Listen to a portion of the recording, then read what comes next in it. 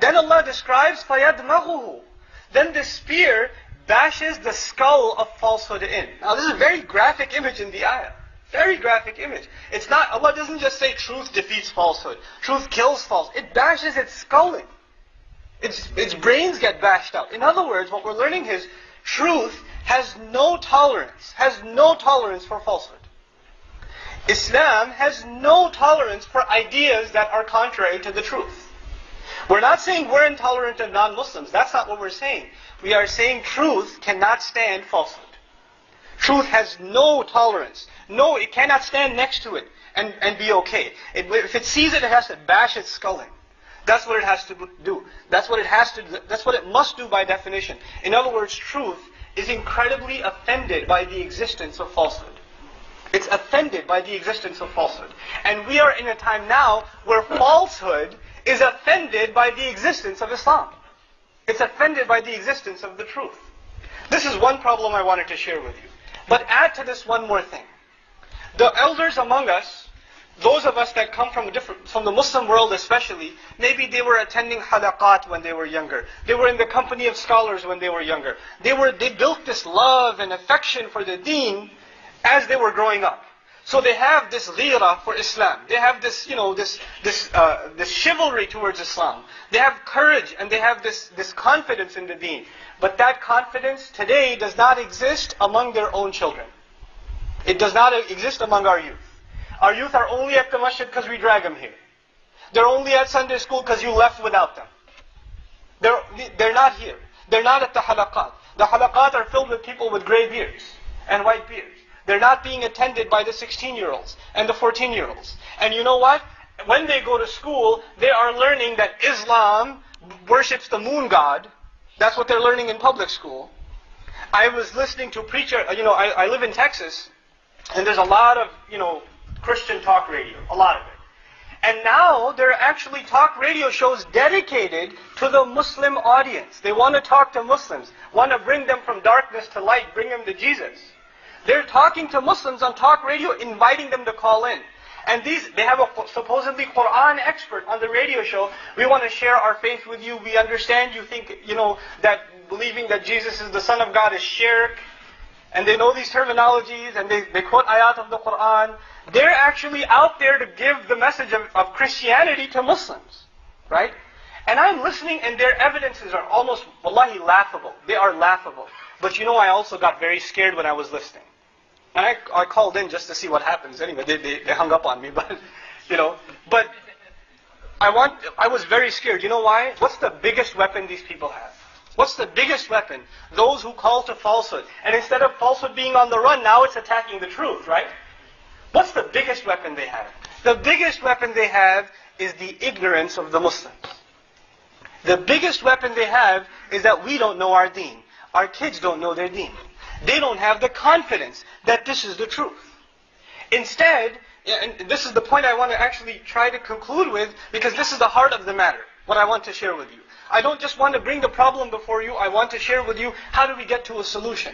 How do we start fixing things too?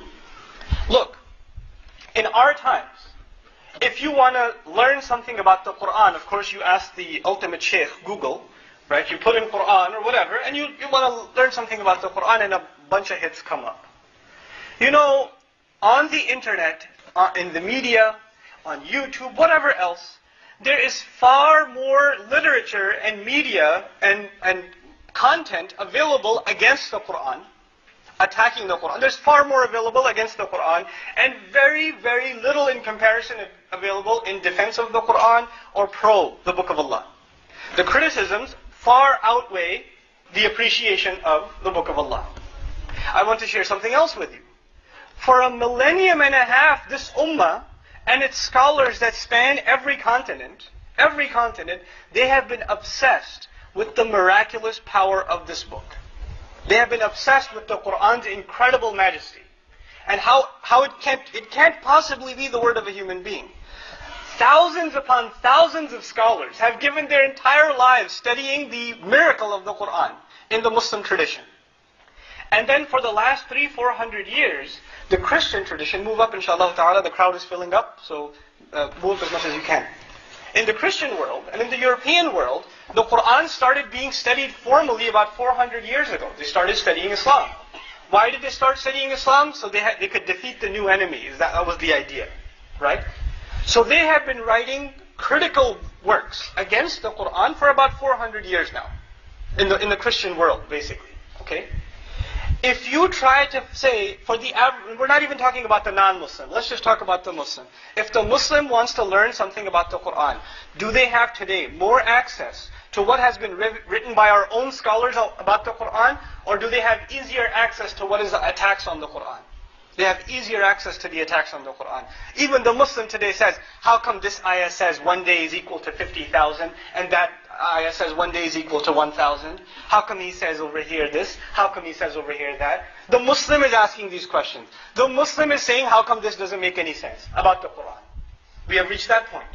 We have reached that point. Here we were supposed to poke questions to others and now our own are asking questions about their own book. That is the reality in which we live.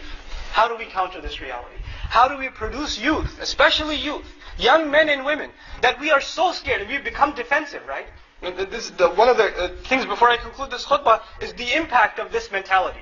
This mentality that we have to constantly answer and defend ourselves, right? Instead of Islam being on the ideological offensive, it's on the defensive constantly. What is the consequence of that?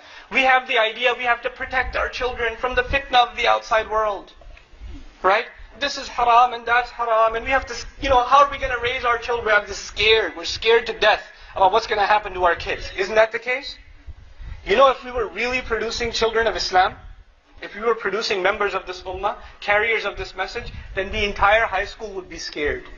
Man, my kids, their Christianity is going to go away because there's a Muslim kid in that school. We would have that kind of confidence. We wouldn't shake because of what's around us. Everything around us would shake because we're there. That's the kind of confidence Islam puts in someone when they understand what they believe. When they have the book of Allah empowering them. Right? I know of a case of a brother I know actually, when he was in high school, he had memorized Quran before, he had studied his deen, and he went into public school. And his parents were told, don't put him in public school, put him in, you know, Islamic school or keeping in the, keep him in the madrasa, this and that. He said, no, I want to go to public school. Ask him why he wants to go to public school. Those people need the message. That's what he said. This 15-year-old kid. And he goes, by the time he graduates from high school, 18 kids have become Muslim in that high school. This is confidence in your deen. This is what we're supposed to produce. We're supposed to, we're not, you know in sports they say the best defense is offense? Right? The best preservation of our youth is the production of da'is. You produce people that carry this message and deliver this message and are content with this message and are deeply, deeply confident with this message. You produce that and you don't have to worry about them, you know, they're not going to end up at the nightclub and they're not going to do alcohol and they're not going to have a girl. They're not going to worry about these things because they have a higher mission in life then. You've empowered them in something greater. When there's a void of a higher purpose in life, then you have these problems. Then they look for other things to fulfill that void. But our deen gives us purpose. Wallahi, it empowers youth. It, it puts them on a different scale. It puts them on a different platform than everybody else. And you know, we don't, we, we've become a people that want to protect ourselves, cut ourselves off from the rest of society. The only justification, ulama have told you this for decades now. This is not, I'm not the first one to tell you this. The only real justification for Muslims living in this land is da'wah. That's the only real justification. So if we're always hiding away and saying, oh my God, if we're like that, then there's a serious problem. If we don't know how to handle somebody who walks into the masjid, a Jehovah's Witness, right, or a preacher, or a guy with tattoos all over his body walks into the masjid, and we don't know how to handle it, that's our problem, not his problem. That's our problem. We don't know how to deal with them. We don't know how to deal with the larger society. And we were here to deliver this message, to carry its message in our, in our speech and our actions in the, in the four or five minutes that I have left, I want to share with you a, a couple of things, bi'idhnillah, that are hopefully food for thought for you and your family, inshallah ta'ala. First and foremost, there are two things about the, about the Quran that, at least the Quranic studies, not larger Islamic studies, just Quranic studies, that all families should be aware of. This, this book is something we should understand, but it's at the same time something we should appreciate. The Quran is not just something to be understood, it's also something to be appreciated. What does that mean? We have to appreciate the fact that this is actually from Allah. We have to appreciate the fact that a human being couldn't possibly